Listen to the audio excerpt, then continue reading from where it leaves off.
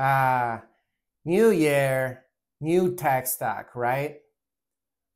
Maybe.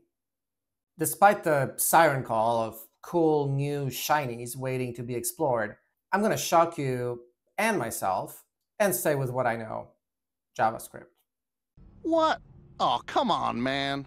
Thing is, the stack I'll be using is what I believe to be the most optimal for the project that I'll be building. I'll spill it here at the start. So if all you care about the what, here it is.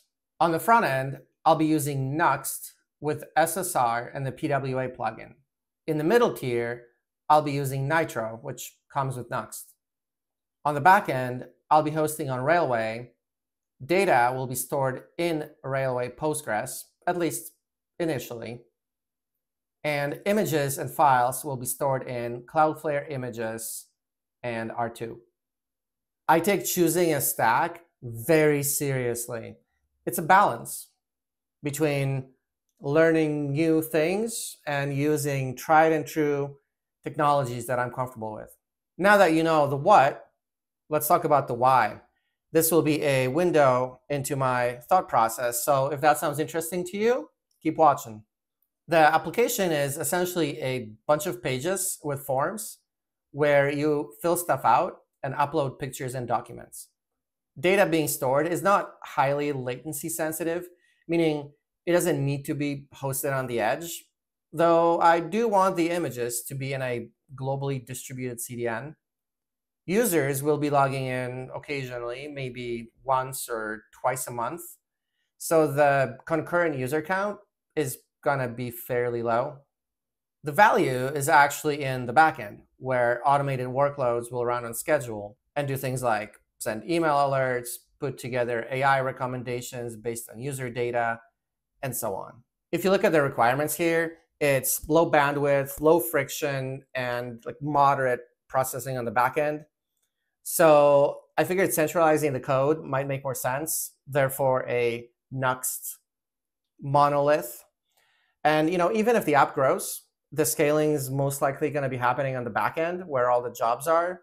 So no problem with a monolith on the front end. Two key things to consider is that I'm building this by myself and time to market is important. I want to launch this in 2025.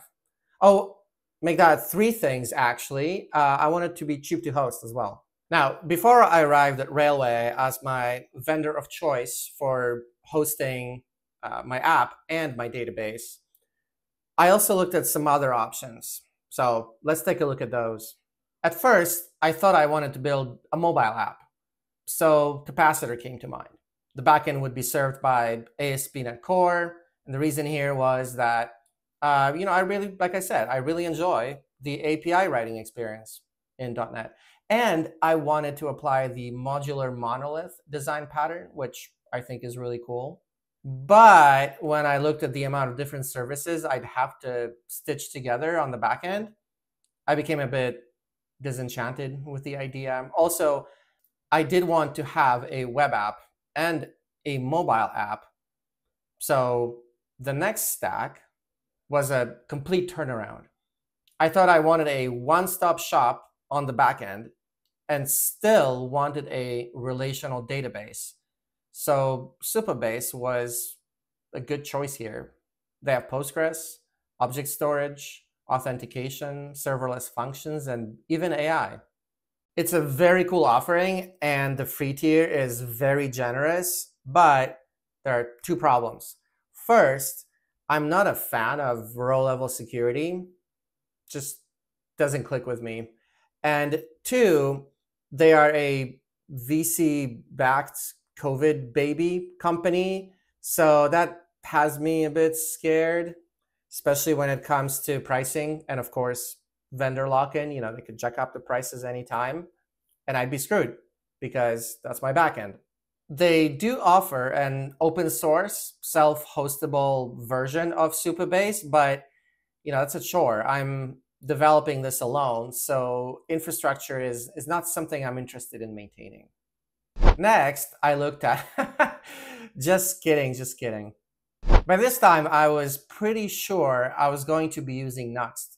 The hosting and database were still up in the air, and I ended up digging deep into Cloudflare's docs for a few days, checking to make sure uh, it all fits my needs. And honestly, they did.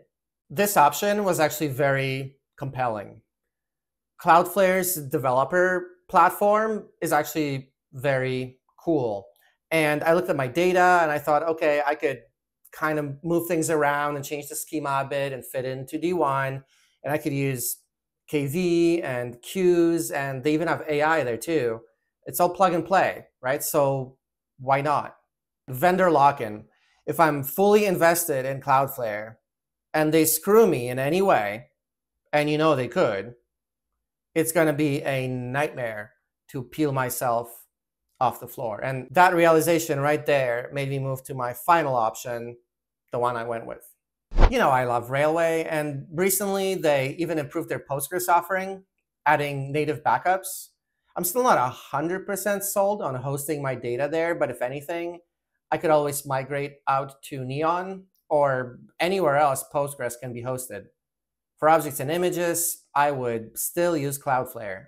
I already use Cloudflare CDN and DNS, and I will Dockerize my app so I can host it anywhere. I will also be using Postgres. So really, I can host that anywhere too.